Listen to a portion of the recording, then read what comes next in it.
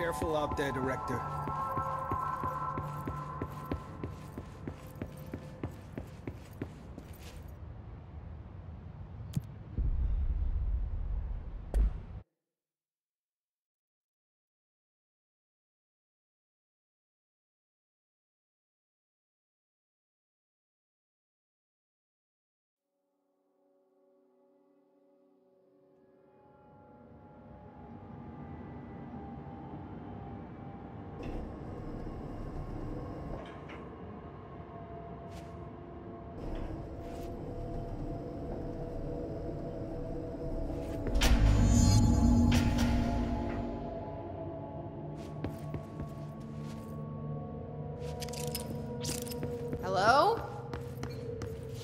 Anyone here?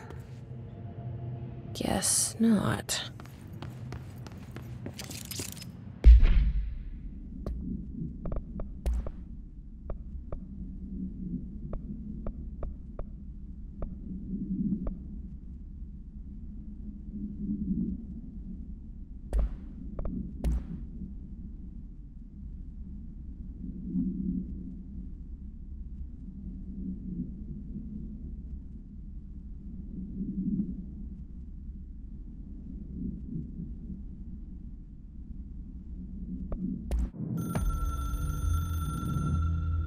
Darkness engulfed the elevator.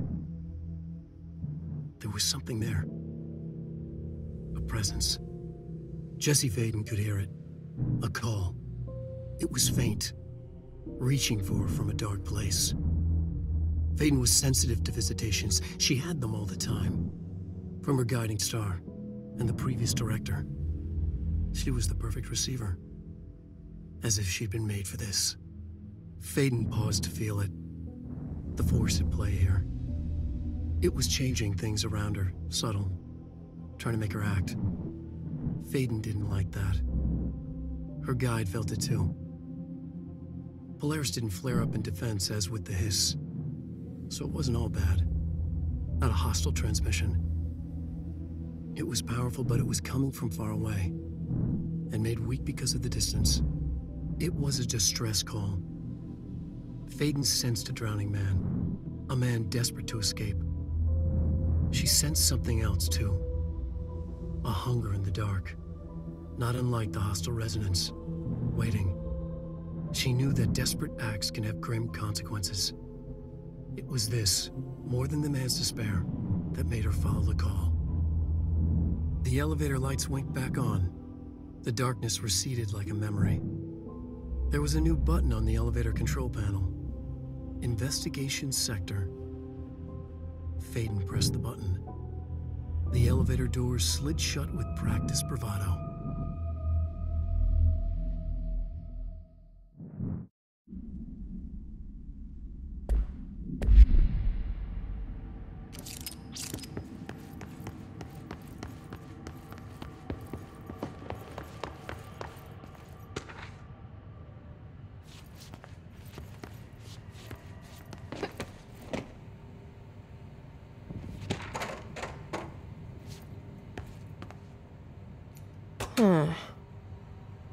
Not working. Probably a loose power core somewhere.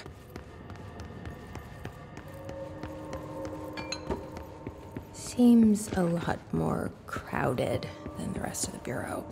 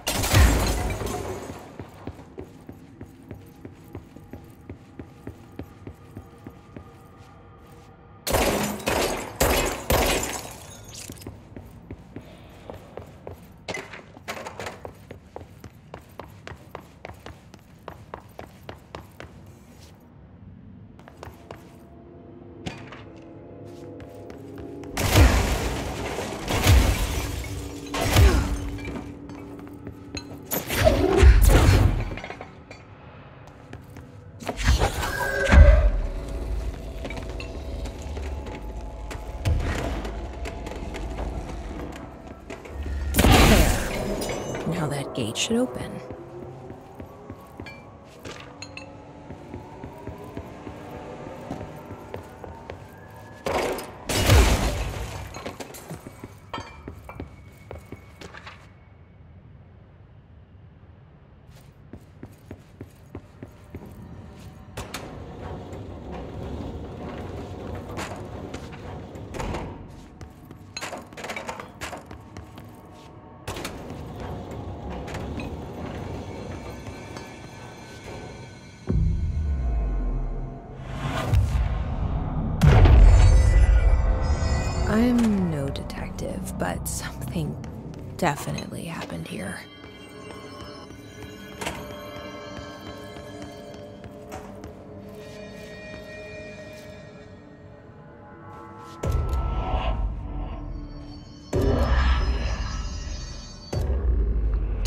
Each other?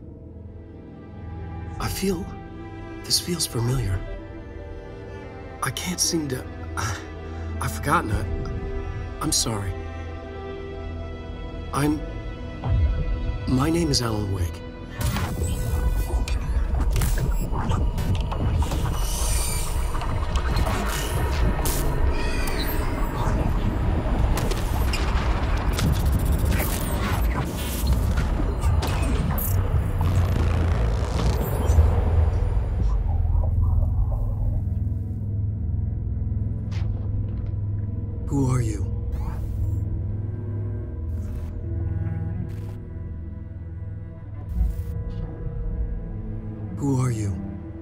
I know you? I'm your friend Tom. Tom Zane. There's nothing to worry about. Tom. The poet. The diver. You, you look different. That was just a, a role, a character. The protagonist I played in my, my old film. I'm a filmmaker, an auteur like yourself. We're working on this together, remember?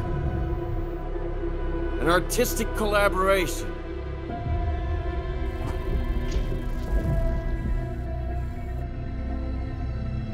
You need a drink.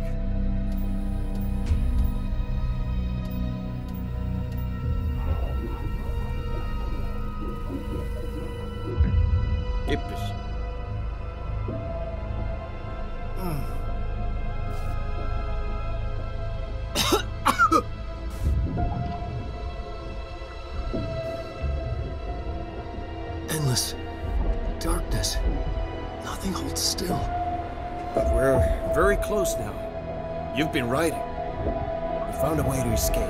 It'll work this time. Riding. You found a way! No.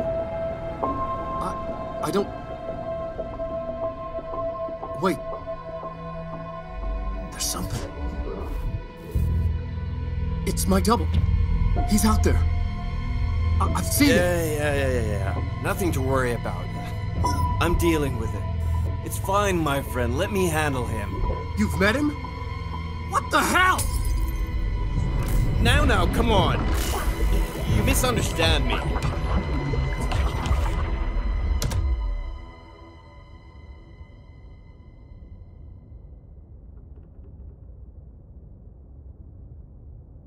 That was Alan Wake, the writer who went missing in that AWE case I read about. What's he doing here? And Thomas Zane was with him. The poet. No, wait. Th- th- he was a filmmaker. I, I always remember that wrong.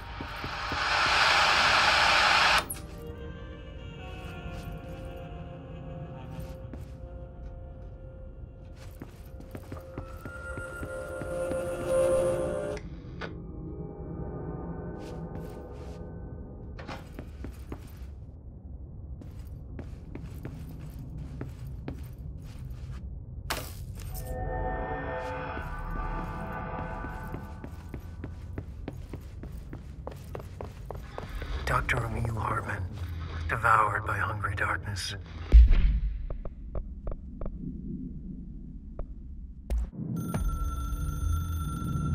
Dr. Emil Hartman was desperate. The Federal Bureau of Control had stolen his life's work. This was his last chance, his final experiment. What he'd been too scared to do before. Hartman dove into the lake, was taken, devoured by hungry darkness, became the thing that had been Hartman. Only an echo of him remained, fragmented impulses on autoplay, violent, bloodthirsty darkness in the driver's seat. Emerging from the lake, the thing was captured by the FBC. Brought in, contained, studied. The thing broke loose, killed everyone it could. The FBC fell back and sealed the sector. The thing was alone in the dark, lurking, roaming, waiting. Then something else came. Not darkness, but similar enough. A sound. A resonance. It shouldn't be a surprise. If there's one, why not another? The darkness inside the thing could have been immune, could have resisted, fought, could have been passed by, passed through with no effect. But it didn't and it wasn't. Maybe it had grown weaker over time, not aged. It was timeless, but weaker with no link to its source. A metamorphosis followed. The thing that had been Hartman went through another change.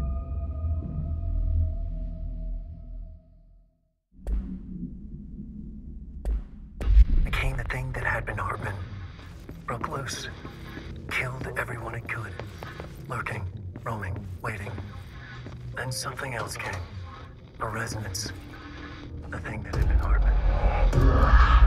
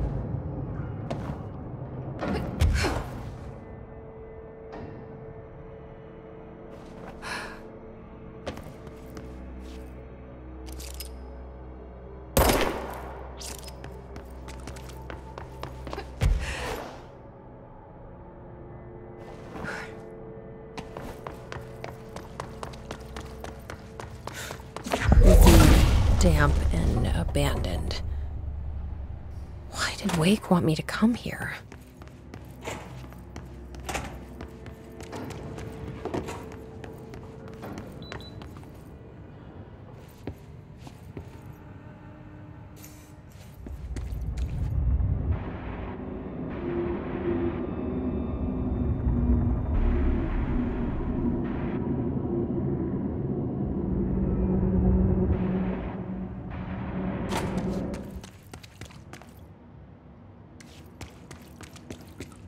That doesn't look like a house shift.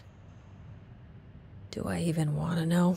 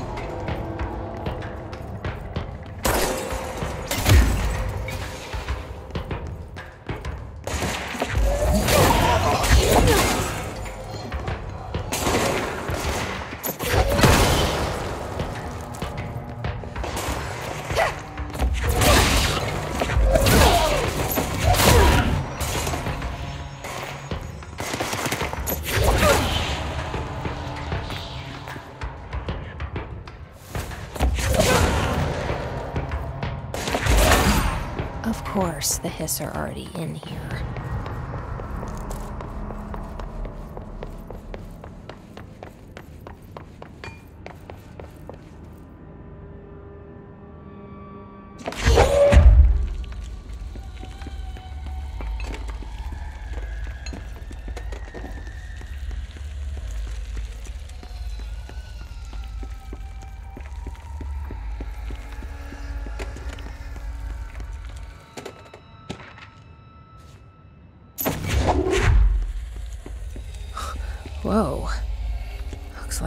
House has gotten a little wild in here.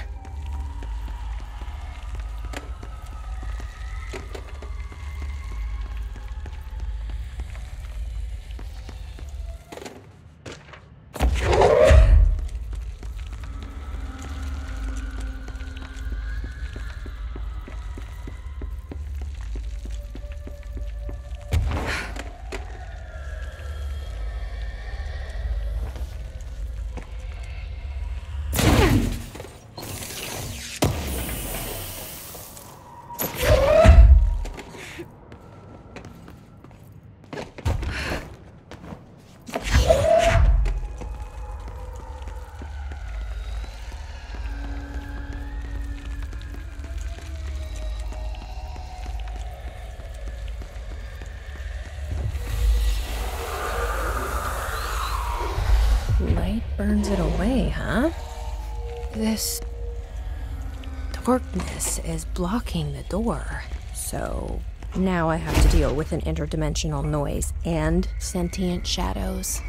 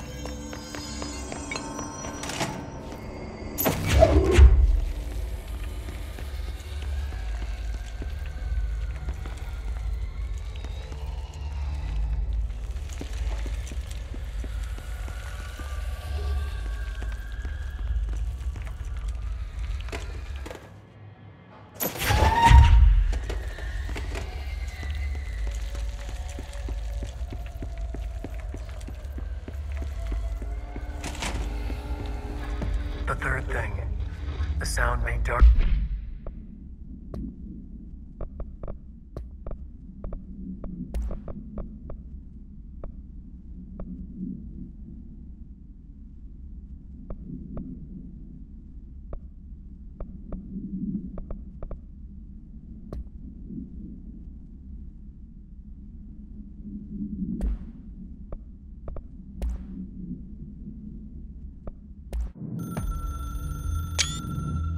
resonance carves its way through the thing that had been Hartman, vibrating, remolding. The sound changes the darkness, and the darkness changes the sound. They both changed what remained of Hartman. They all turned into something else. A third thing. The sound made darker. The darkness made louder. Hartman was stretched. Stretched as anyone when seen from out of time, like a worm through time. Almost an Ouroboros, a spiral, a maelstrom. The gravity well of a black hole, twisting inward, tightening, taking you deeper and deeper to the bottom, the heart, and through to the other side. The third thing said, When you hear this, you will know you're in new you. He said, We build you till nothing remains. He said, Under the conceptual reality behind this reality, you must want these ways to drag you away. He said, Baby, baby, baby, yeah, orange peel. The third thing was a monster. He'd tear apart any ordinary person crossing his path. Now he crashed out of darkness toward Faden. There was nothing ordinary about Faden.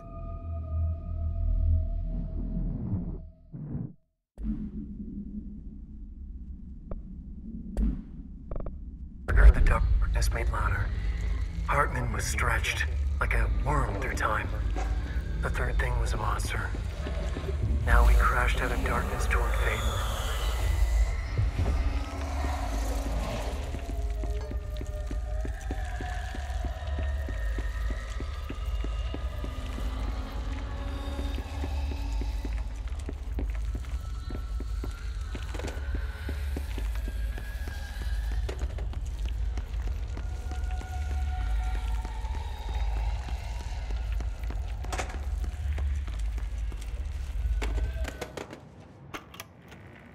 Reminder, all employees are required to report their hours at the end of each month.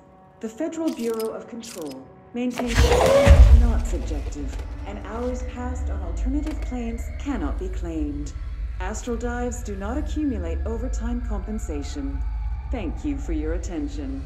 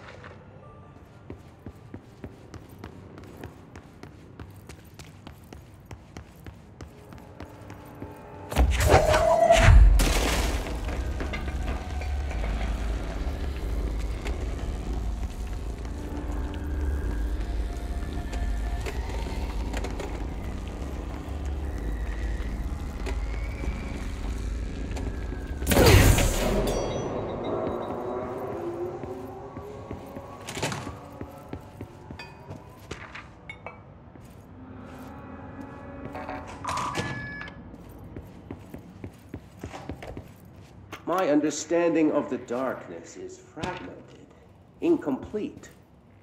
This abyss, this void, it very much does not wish to be understood. If light symbolizes knowledge, then it stands to reason that darkness would equate to ignorance. By its very nature, it abhors comprehension. Of course, my own nature drives me to comprehend all. We are opposing forces, destined to collide. And given this conflict of natures, we know that the light of truth will burn away the darkness, both figuratively and literally.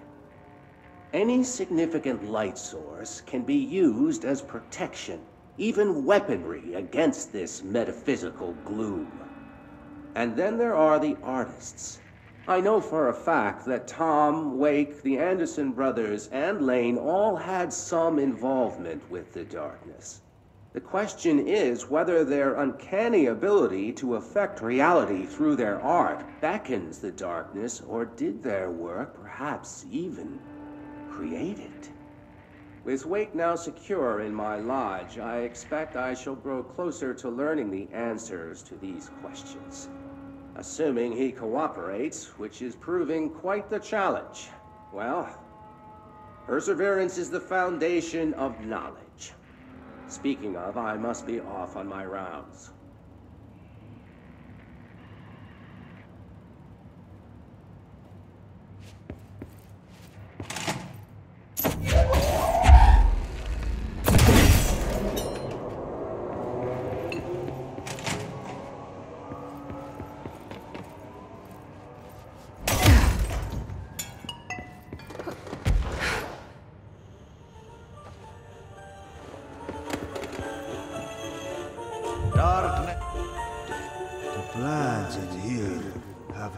Standing up.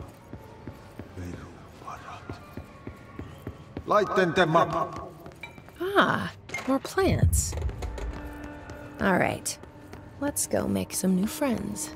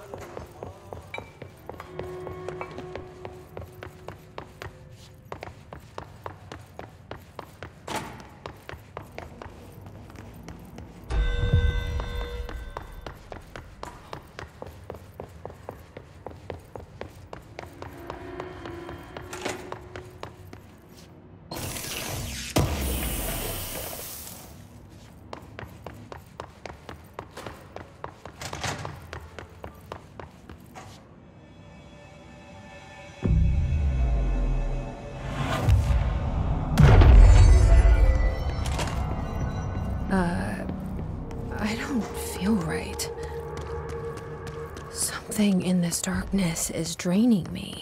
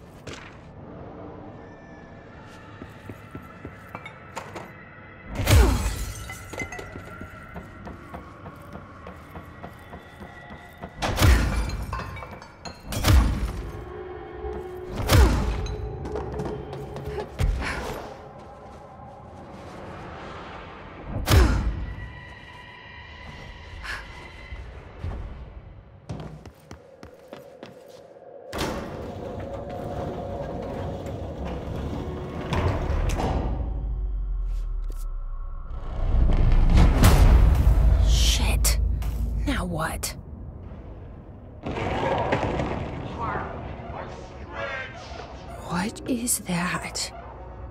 My hungry darkness. Come on, elevator, time to go! Dr. Neil Hartman was desperate. Fuck, fuck, fuck! Things when you don't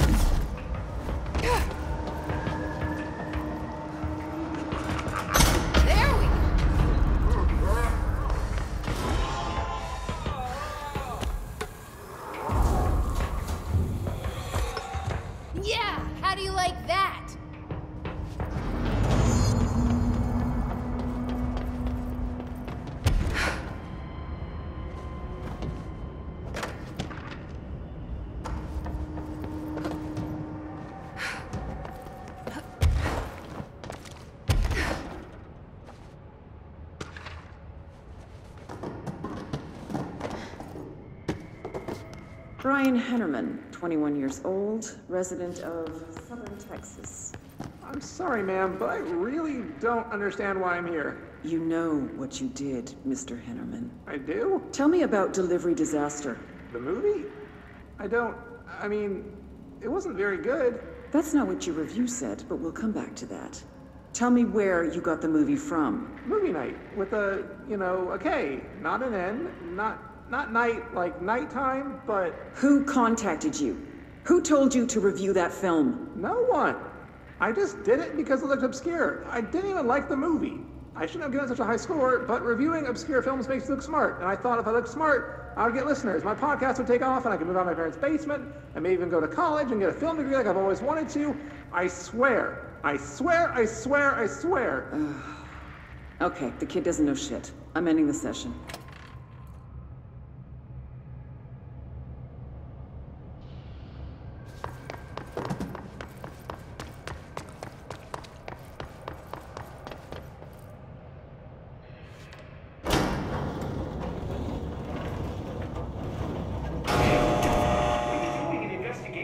Jesus, don't scare me like that, Langston. If you're talking right now, I can't hear you. It's a one way system. Try to find an intercom.